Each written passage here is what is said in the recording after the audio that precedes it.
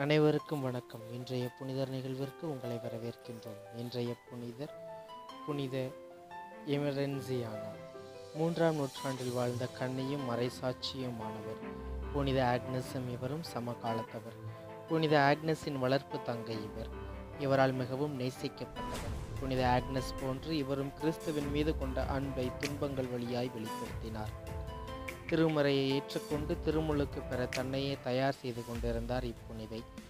புனித ஆக்னஸ் இவர் திருமுழுக்கு பெற அனைத்து ஏற்பாடுகளையும் செய்தார்.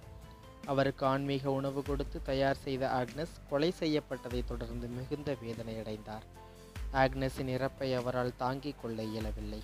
கண்ணீர் வடித்தார். புனித ஆக்னஸின் கல்லறைக்கு அடிக்கடி செல்வார் ஜெவிப்பார் கிறிஸ்தவர்களை வதம் செய்து கொண்டிருந்த கயவர்கள் கல்லறைகளில் முகம் புதைத்து அழுது கொண்டிருந்த இவளை பார்த்தார்கள் போர் வீரர்கள் இவரை இச்சைக்கு அழைத்தார்கள். உடன்படவில்லை. வேற்று தெய்வத்தை வழிபடச் சொன்னார்கள். எதிர்த்து நின்றார்கள்.